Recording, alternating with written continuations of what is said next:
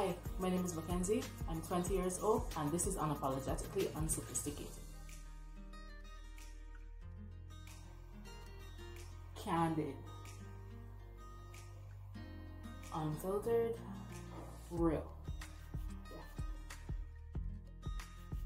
Honestly, the whole idea of unapologetically unsophisticated came to me a couple years back is a little thing I coined for myself as a way of redefining myself, especially when it came to my self-esteem during like 2017, like the early back, the early part of 2017. The whole concept is being unapologetic about who I am and not apologizing for my uniqueness or like just me in general, and then meshing that with the whole concept of the fact that you seldom ever actually have it all together. That is very difficult to be know, uh, all prima proper and sophisticated, and that that is okay. That you don't have to have it all together.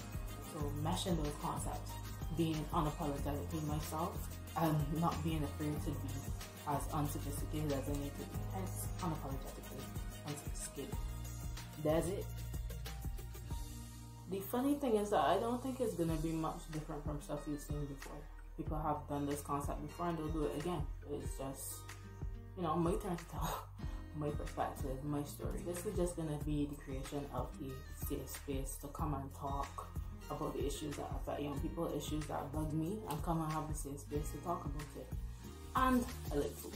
So for me, the whole concept of coming up with it was like ranting meets mukbang, but picnic style. So it's gonna be very casual, very down to earth, very honest. That's the whole concept that I'm going for. So yes, there will be structure, but not so much structure because at the end of the day, authenticity is the goal. Like just being real about the things that affect us growing up in this little bridge between teenagehood and adulthood. Yeah, that's initially what it's going to be. I am very, very grateful to have a great team behind me with friends who are really happen. This is something I've wanted to for a while. So like having the chance to actually bring it to fruition and share it with the rest of the world, I'm very, very excited. I cannot wait for y'all to see everything that's in store. Gonna deal with some interesting topics. Um, I'm definitely going to bring on different people, different guests, friends, food, family, whatever it is. I am here for absolutely every single part of it. So I cannot wait for you guys to see it follow the social media links in the description to keep up to date with everything for the official launch date. I cannot see y'all. McKenzie is out. This has been Unapologetically Unsophisticated. You, you.